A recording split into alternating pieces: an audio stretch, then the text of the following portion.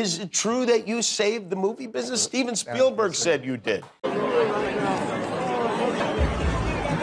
Tom, take a picture of the Academy. No, I'm, I'm going to see you at the Producers Guild. Yeah, because you get it, you're getting the milestones.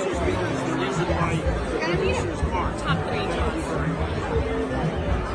You got the milestones.